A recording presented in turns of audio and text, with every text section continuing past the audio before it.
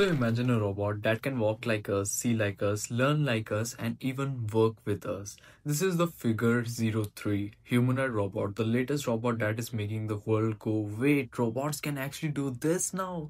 Today we are going to understand what Figure 03 is, how it works, and what is inside it, and why companies are so excited about it. So let's start it. What is Figure 03. Figure 03 is a humanoid robot made by a company called Figure. Based in the US, humanoid means it looks and moves like a human. Two arms, two legs, hand, finger, etc. etc. Cameras are there and a brain made of AI. This robot is designed to help human in real work like factories, warehouses, hospitals, even homes in the future. So think of it like a robot assistant that can do physical tasks. So the next thing is why did they make it? Right now in the world many jobs are boring, some jobs are dangerous, some people don't have enough workers. So companies want robot that can do basic work like picking up boxes, moving items, helping with bag packing, cleaning, simple repair tasks. Figure 03 is built to fill these roles. So how does Figure 03 moves? The movement of this robot is one of its most impressive feature. Inside its arms and leg, it has actuators. Actuators are basically its muscles. Our muscles work by pulling bones, but this robot's actuators work using electric motors and precision gears. This allows the robot to walk smoothly, bend its knees, rotate its arm, move its finger gently or firmly, depend on the job. So it doesn't move like old clicky robot that jerks around. Its movement is balanced, precise and controlled and natural. It can only adjust balance in real time. So if you give it a slightly push, it wouldn't fall. Just like we do when we take a step on uneven ground. Just like that. So the next thing is how does Figure 03 sees? Instead of eyes, it has camera, depth sensor, 3D environment scanner. It does not just capture pictures, it understands what it sees. For example, if the robot is asked to pick up a bottle, it first looks around the room, identify what is a bottle, calculate the distance and plan how to reach it. It can also tell the difference between a bottle, a cup, a phone, a piece of cloth. Also, because of all AI visions, it's not just seeing it's interpreting actually. And here how it thinks. Here where it get exciting. Inside figure 03 is a brain powered by ai it works in three steps. Understanding language if you talk to it it understand normal sentences. Like example for example pick up the red box and put it on the top shelf. Understanding the environment is the second step. It look around find the red box and see where the shelf is. Number three planning and movement. It plan the path grab the box walk and place it gently. This is something early robot could never do. They needed strict restrictions like move arm 20 degree, close grip, rotate, walk, 3 steps, release. But figure 03 doesn't need step by step coding. It just make decisions like human helper.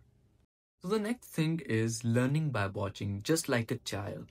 This is one of the most revolutionary part. Instead of programming every task, Figure 03 can learn by observing humans.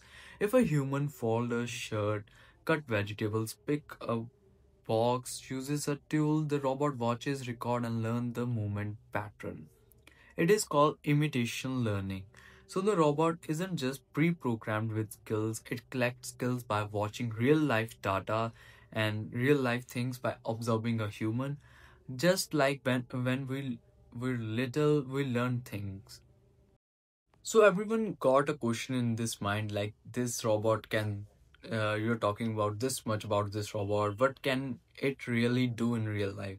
So in real life environment figure 03 can pick up items with the right amount of force sort and arrange objects into different categories carry items while walking carefully open drawer cabinets and tools Place things on shelves accurately, work in warehouses managing products, assist worker in repetitive tasks. Is all it's already work in place like warehouse and manufacturing labs. And because software update keep improving, each month it becomes smarter. So why are actually company investing in this? This think about this. If a single robot work 24 hours a day, don't get tired, don't need lunch breaks, don't get injured, and can learn many tasks through software. That means work can get be faster, more consistent, safer, less expensive in long term. Companies in industries like auto manufacturing, electronics assembling, logistics and storages, healthcare equipment and handling are already experimenting with humanoid robots like Figure Zero Three. This isn't just a concept anymore, it's happening right now. So the actual question is, will this replace human? A question that a lot of people have when they see robots like Figure Zero Three is this is going to take away jobs from human. The reality is more balanced than that. Figure Zero Three is not designed to replace human creativity, intelligence, or emotional understanding. It's instead, it's designed to take over repetitive, physically exhausting or risky tasks that often cause stress, injury, and burnout in work. Think of job like lifting heavy boxes all day in warehouse, sorting items for long hours without rest, or working environment that may be dangerous for human. While the robot handles these tiring tasks, human can move into roles that require planning, problem solving, teamwork, communications, and supervisions. So instead of human versus robot, the future is more like human plus robot working together. Human lead, think, and design, and robot help carry out the effort. It's teamwork, not replacement. So the actual future vision is the long-term vision for human and robot like the figure Zero Three is actually much bigger than just warehouse or factory work. As the robot learn more skills and AI companies improving, we could see robots supporting daily life in many ways. For example, in hospital, robot could deliver medicines, more equipments, or assist nurses with lifting patients safely. In homes, this might help elderly uh, family members stand, move, or reach items they can't uh, do their own. During natural disaster, robot can be sent into collapsed building, fire, or flooded zone where it is danger for a human rescuers.